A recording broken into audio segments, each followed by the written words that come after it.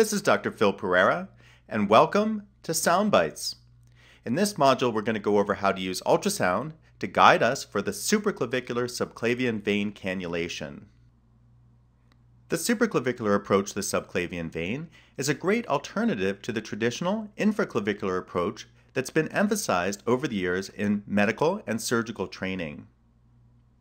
For this approach, the catheter is placed into the subclavian vein above the clavicle, either very close to or at the junction with the internal jugular vein at the confluence of the brachiocephalic vein. Advantages of this approach include a relatively short distance to the vein and less wire kinking than with the infraclavicular approach. A nice article that goes over this approach was in the Western Journal of Emergency Medicine in 2009 by the authors listed below in the reference. Let's take a moment to review the upper extremity venous anatomy that we'll need to know to perform supraclavicular subclavian cannulation. The first landmark is the clavicle, and remember that as the subclavian vein passes lateral to the clavicle, it becomes the axillary vein. We can see the subclavian artery and vein running above and below the clavicle. We can also see the internal jugular vein and carotid artery going up and down the neck we can see the confluence of the internal jugular vein and the subclavian vein to form the brachiocephalic veins. In effect, we're aiming at the confluence here, the brachiocephalic vein, for placement of the catheter. And we can see that the brachiocephalic veins join to become the superior vena cava going into the right atrium. And that's where we want to place the tip of the catheter. Now let's take a look at the essential anatomy from a lateral approach. We again note the clavicle here, forming the boundary between the subclavian artery and vein and the axillary artery and vein. We see the subclavian artery and vein arching above and below the clavicle. And we see the internal jugular vein and carotid artery going up and down the neck.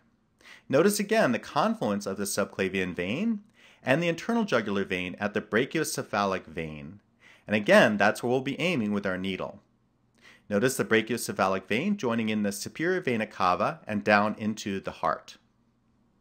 Now let's take a moment to talk about ultrasound guidance for this approach to the subclavian vein. Traditionally, it's been thought to be difficult to image this portion of the subclavian vein as it arches above the clavicle. However, the supraclavicular portion of the subclavian vein can be well visualized by placing the ultrasound probe in a medial position just above the clavicle and angling it down into the chest to visualize the subclavian vein just anterior to the subclavian artery. In this illustration, we see the probe placed above the subclavian vein, able to image it in a long axis orientation. For this application, we'll want to use the high frequency 10 MHz linear array type probe. And notice that we have the probe angled anterior to pick up the vein, which will be located anterior to the subclavian artery. Thus, cannulation of the vessel will be performed in a long axis approach using ultrasound guidance. An alternative approach to find the subclavian vein and brachiocephalic vein is to follow the internal jugular vein inferiorly down the neck. We then will visualize the subclavian vein as it joins with the internal jugular vein at the confluence of the brachiocephalic vein and we can use color Doppler flow imaging as shown in the video box to the upper right to differentiate vein from artery. Notice the characteristic pulsations of the artery versus the constant phasic respiratory hum of the vein. To use ultrasound guidance for the supraclavicular approach, we'll want to place the probe in a long axis orientation in the supraclavicular fossa.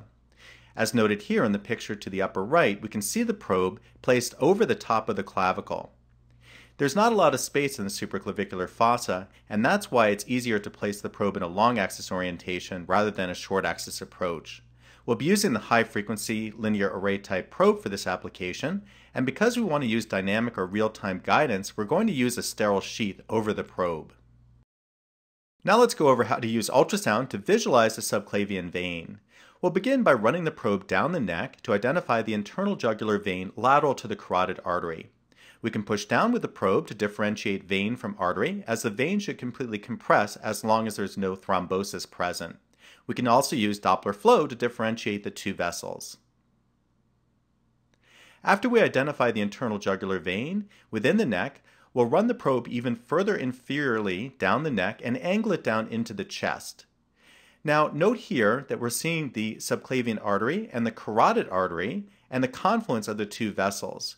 And remember that the subclavian artery is going to be located posterior to the subclavian vein. Next, we're going to orient the probe even more anteriorly, watching the internal jugular vein go down into the chest and join with the subclavian vein at the confluence of the brachiocephalic vein. And we remember that the subclavian vein would be located more anteriorly than the subclavian artery. Now let's take a look at some ultrasound images showing the internal jugular vein running down the neck and joining with the subclavian vein at the brachiocephalic confluence. And we can see the subclavian vein arching from the lateral aspect to the left of the image here and joining with the brachiocephalic vein medially. Again, we'll be aiming the needle for the confluence of the subclavian vein down with the brachiocephalic vein. And we can see that the structure is relatively superficial. We can see the depth markers over to the right, and we note that the subclavian vein is only at about one centimeter depth. In this ultrasound image, we first locate the internal jugular vein, and then we orient the probe a little bit more anteriorly to pick up that subclavian vein and the confluence of the brachiocephalic vein. So all we're doing is a slight tilt anteriorly with the probe to visualize the subclavian vein running into the brachiocephalic vein. And again, we can see the depth markers over to the right there, and we notice that the subclavian vein is located at about 1 to 2 centimeters. So again, it's a relatively superficial structure. In this ultrasound image, we see the subclavian vein coming from lateral to the left of the screen and joining with the brachiocephalic vein medially. We can see a valve at the confluence between the two structures. Our needle would come in from the lateral aspect and be aimed medially towards that confluence, and we can see that it would have to come down about 2 centimeters to successfully cannulate the vessel. In this illustration, we'll go over the surface anatomy for the supraclavicular subclavian vein cannulation. The needle should be aimed towards the subclavian vein at the confluence of the internal jugular vein into the brachiocephalic vein. Generally, we're going to place the needle off the back of the clavicular head of the sternocleidomastoid. The needle should be aimed towards the sternal notch. And again, it's a relatively superficial stick. This video reviews the middle triangle of the neck as framed by the divisions of the sternocleidomastoid muscle. Remember that the sternal head will run medial and the clavicular head will run lateral. The clavicle will form the inferior boundary of the middle triangle of the neck, and we can see the index finger placed within the middle triangle. Within this triangle will run the internal jugular vein and the carotid artery, and that's where we want to be first locating with the probe the internal jugular vein as it runs down the neck. Here are the traditional surface landmarks for cannulation of the supraclavicular subclavian vein. We want to identify the clavicular head of the sternocleidomastoid laterally, and that's generally where we'll be placing our needle. The needle will be aimed towards the sternal notch medially. And we can see that the needle will be coming over the top of the clavicle aimed into the subclavian vein. In this video clip, we'll simulate the correct placement of the needle for cannulation of the subclavian vein above the clavicle. Here I'm just illustrating where the subclavian vein should be running from lateral to medial. And note here that we'll place the needle just lateral to the clavicular head of the sternocleidomastoid with an orientation towards the sternal notch of the sternum. Next, we'll add ultrasound into the mix, and here we're placing the high-frequency linear array probe into the supraclavicular fossa just above the subclavian vein. So we'll be placing the needle on the lateral aspect of the probe so that we can watch the needle come down into the vessel. And again, I'm just emphasizing the standard trajectory of the needle from that lateral aspect of the clavicular head of the sternocleidomastoid towards the sternal notch. Here we get a different perspective for the placement of the probe in the long axis configuration in the supraclavicular fossa. And we see here that that needle should be oriented off the back of the probe or lateral to the probe. We'll be placing the needle directly underneath the probe so that we can watch it at all times as it goes down to the vessel to correctly cannulate the subclavian vein, and the needle should be aimed towards that sternal notch. Here we're going to successfully cannulate the subclavian vein using the long axis approach under ultrasound guidance. And we can see the needle coming in from lateral to medial, successfully cannulating the subclavian vein.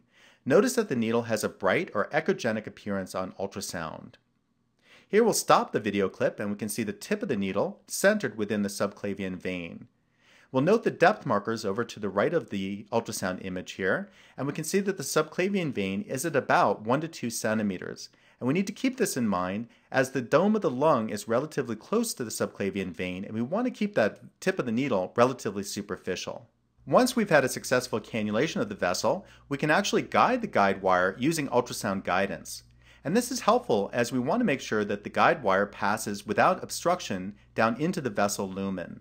In this video clip, we can actually see the guide wire advance through the catheter into the subclavian vein laterally and being pushed down the subclavian vein into the confluence with the brachiocephalic vein medial and to the right. Next, we can watch as the guide wires further advance down the brachiocephalic vein into the superior vena cava, and here we can see the echogenic guide wire coming from left down the subclavian into the brachiocephalic and into the superior vena cava. And remember that we want to position the tip of the guide wire and then the resulting catheter within the superior vena cava so that it doesn't enter into the right atrium. To summarize some of the important parts of this module, I want to emphasize that the supraclavicular approach to the subclavian vein is a great alternative to the traditional infraclavicular approach and one in which ultrasound guidance can be used dynamically or real time to guide the needle down into the vein, hopefully to decrease the risk of complications to our patient during the procedure. As we discussed, the subclavian vein cannulation is performed with the ultrasound probe held in the long axis orientation in the supraclavicular fossa, so that the needle will enter off the back of the probe laterally and be advanced in a long axis view down into the vein. Let's finish here with a discussion of some of the potential complications of this approach, the first of which is inadvertent pneumothorax. Now, the subclavian vein is relatively close to the lung, the dome of the lung, and for that reason will traditionally go on the right side, where the right side of the lung is a little lower at the dome than on the left side. We can actually visualize the dome of the lung with ultrasound as seen in the video box to the upper right. We can see the pleural surfaces moving back and forth as the patient breathes, and this is called lung sliding. So we can visualize the lung and avoid it. We want to avoid deep punctures with the needle and keep that needle tip visualized at all times as we advance it down into the vein. A second potential complication is inadvertent puncture of the subclavian artery during the cannulation procedure. Remember that the subclavian vein lies anterior to the subclavian artery, and we can actually identify both structures prior to puncture attempts using ultrasound. We can use color flow Doppler imaging to differentiate the artery from the vein, and as seen in the mini boxes to the upper part of the video here, we can see to the left the pulsations within the subclavian artery, and the venous hum to the right there within the subclavian vein. We want to aim that needle anteriorly at all times to avoid the subclavian artery so as not to inadvertently puncture it during the cannulation procedure. So while it's important to discuss the potential complications of this approach, I feel that this is a great line in clinical use and one that's actually better or safer for our patients than the traditional blind, landmark-based infraclavicular approach to the subclavian vein. So I hope it's something that you'll give a try in the clinical areas using ultrasound guidance I look forward to seeing you back in the future as Soundbites continues.